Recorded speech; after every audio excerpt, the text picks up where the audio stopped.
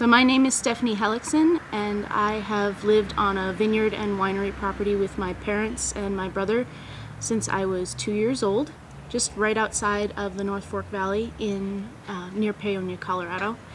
And since I was little, there have been slow, gradual changes in the climate around us, um, and I probably haven't noticed them as as strictly as some of my elders, but for me, it's been more of slight changes over time.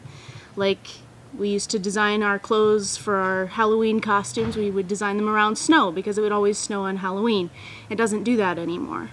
And we would always start pruning on the 15th of April. It was kind of our tradition. Tax day, you start pruning the vines, and now we start on the 15th of March.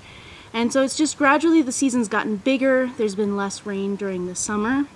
We've had different varietals in the valley now that will grow, some that won't. Some issues with water. We had a drought for several years. We're kind of out of it now, but every year we're concerned about where our water is going to come from. Is it going to snow enough? Is it going to rain during the summer? The weather patterns are much less predictable than they were even when I was little. We could always rely on, in August, there would always be rain in the afternoons, and you could rely on it almost every year. This year, that didn't really happen. It happened for maybe two days, whereas it usually happens for about two weeks.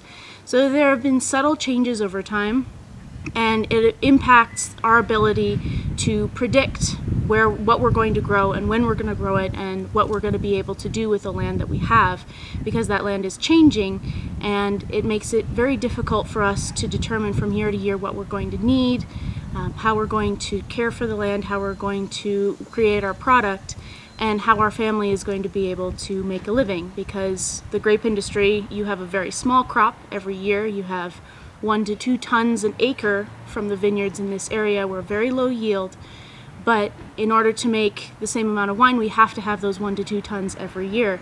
And if we have a late frost, or we don't have enough water, or things don't ripen early enough because it's still warm and nice and beautiful, we can get nipped by late frost, early frost, drought, anything like that can really affect our ability to make a living and stay where we are and do what we love to do.